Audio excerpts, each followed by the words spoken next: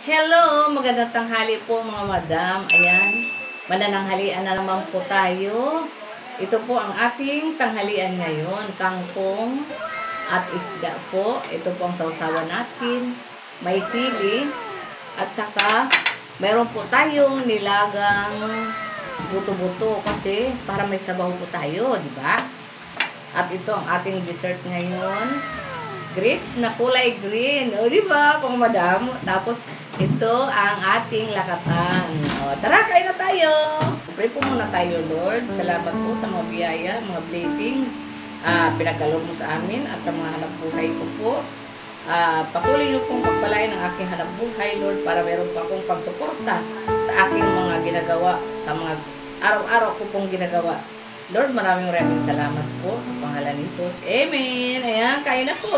Kain na. Ito po ang ating kangkong. Ginisa ko lang po ito.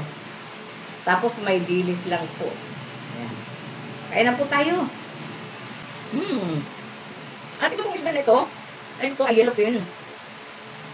Yellow pin po na po ito.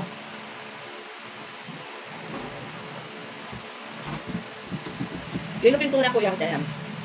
Tapos ito pang aking buto-buto.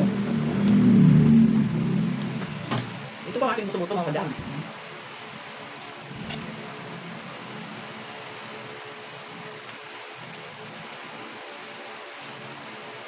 Kain po, kain. Ang sausawan natin may sili. Hmm.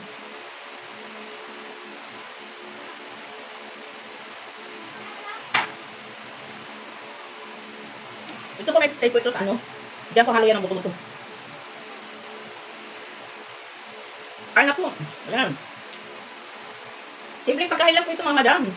Gulay-gulay lang tapos isda. Tapos may buto-buto lang kasi ang mga kuko kailangan ng buto-buto may dabaw. Hmm. Tayo mga madam. Ito po ang grape ko, kulay green.